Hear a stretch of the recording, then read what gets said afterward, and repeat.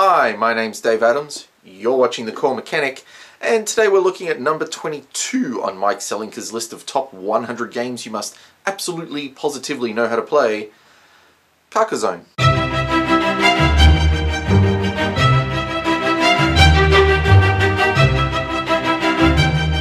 Hi, my name's Dave Adams, and I love playing games. At the 2015 PAX convention, one of my favourite game designers, Mike Selinker, presented his list of top 100 games you must absolutely, positively know how to play. The 100th game on the list was a challenge to play a game of my own design. With a desire to understand more about the hobby that I love so much, I've taken on that challenge to design a game. But first, I need to learn as much as I can about game design. I'm going to start by playing as many of the games on Mike's list as possible. Join me as I learn more about the core mechanic. Carcassonne was designed by Klaus Jürgen Wrede, who's also known for designing the game The Downfall of Pompeii. It was designed in 2000 and then in 2001 Carcassonne won the very prestigious Spiel des Jahres award, which is handed out at the Spiel convention in Germany, which is the world's largest board gaming convention. Also happens to be a bit of a dream of mine to get to one day. The game itself can hold between two to five players it plays in about 45 minutes, and in English, it was produced by Rio Grande Games.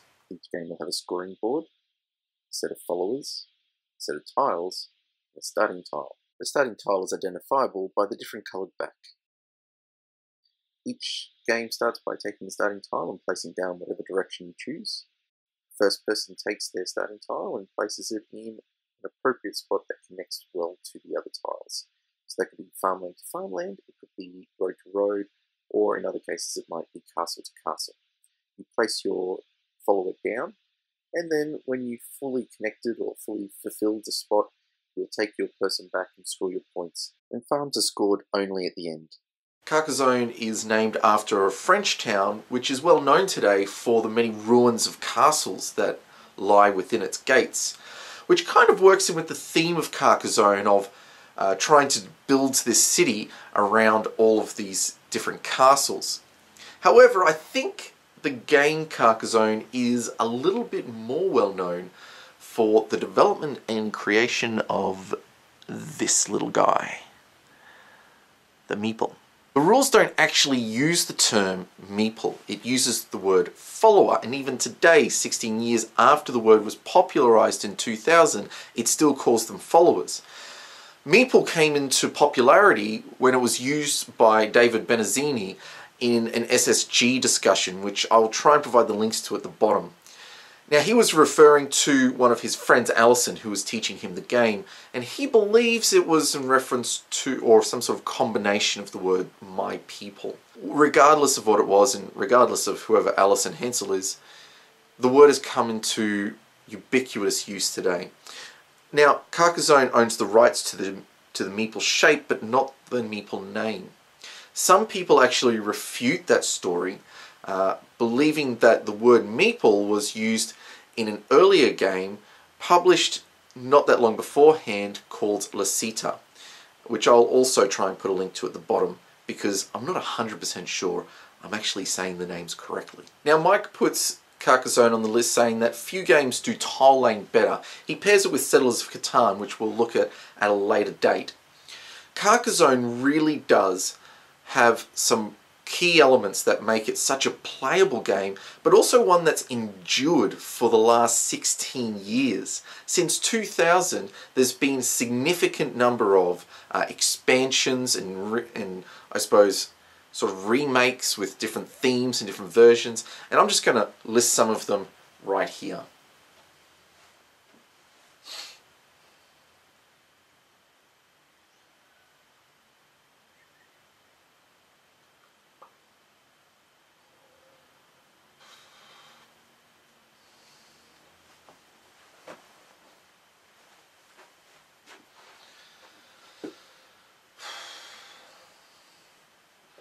So as you can see, there's quite a few expansions, remakes, rethemings, and after 16 years, people just don't seem to have had enough of it yet. And that speaks really well of the game. In fact, it probably means that there's quite a lot we can take away from this. Designers say that seem to suggest that it's not when you can't add anything more to a game that it's finished, it's when you can't take anything else away. And it's that simplicity in design. It's when you've got it down to just the mechanics that you need, just the gameplay elements that you need, that I think makes it accessible and replayable for a lot of people. In Carcassonne, you're really only doing a couple of things, but you're engaging in two really strong core mechanics. Now your tile laying, so you're picking up a tile and you're playing it every turn, but on the scale over the course of the whole game, you're actually playing an area control game. So you're using your resources, you've got your meeples, and you're choosing when to put them down, and you're trying to find ways of collecting them back, in, but at the same time you're trying to take possession of these castles, and you're trying to take possessions of these roads, and you're trying to take possessions of farming land. And this leads to a multiple or multiplicity of decision making that goes on over the course of the game, each of which is always uncertain and always in flux and really requires good tactical decision making to try and swing the game around to your ultimate victory. Now some of the problems that you might run into as a player is actually running out of meeples. There's been many times in which I've fought ardently over castles or I've invested over heavily into farming land and then I've been left in a position where I'm not actually taking back any of my meeples and scoring anything and I'm just sitting there trying to place tiles desperately hoping to find the tile that I can use to collect a meeple back or a couple of meeples back and start getting back into the action and scoring again. Unfortunately if I'm not smart enough, which has happened on a few occasions, I can get lost in the game, I can lose all my meeples. However, also doing small amounts of very quick, sharp uh, point scoring, like a little road here and a little castle there, often isn't enough to earn you enough victory points over the course of the game. So you really have to try and fight hard over getting those bigger castles, uh, trying to get those longer roads, trying to have just enough farming area that you've taken possession of the castles in that area and you score the big points at the end. I think as a designer, some of those things that I would like to consider having played the game is firstly, that ability to know the mechanics well enough to use them in such a way that they they're not convoluted or they're not working in conflict with each other, but that one naturally progresses to the other.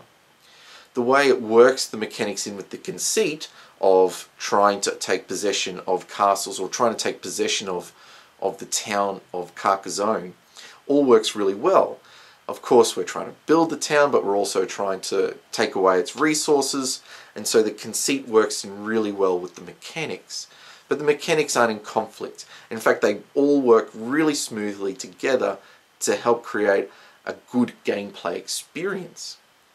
But it's also that consideration of small tactical decisions, long-term strategy, and the state of play at any one time. Now, heuristically I can look at the board and see where I am scoring and positionally I can try and think in terms of what I need to do to fix that but sometimes that's harder to do than just simply going oh well I'll, I'll make these decisions because at any one time you don't really know what the next tile is. Some people might consider that reducing the bushiness of the decision making but at the same time it also adds to the flux of play. It creates a bit of suspense it uh, helps you, it sort of builds that tension of can I get what I need or, or can I somehow creatively use what I have to find a different strategy or to, to shift my gameplay and still try and come out with some optimal scoring. And it's the person who's really flexible in gameplay that can make that happen. I think it builds tension well uh, as you start to use your pieces and you can see the score progressing and yet at the same time it because you've got the farmers, you don't ultimately know what the big score is going to be. And sometimes there's been times where I've dead set certain that I've lost and I've come through with a victory. I think it's those small surprises, uh, that what use of information that makes a difference. Well, thanks for watching. I'd love to hear your thoughts below. I'm Dave Adams and you've been watching The Core Mechanic.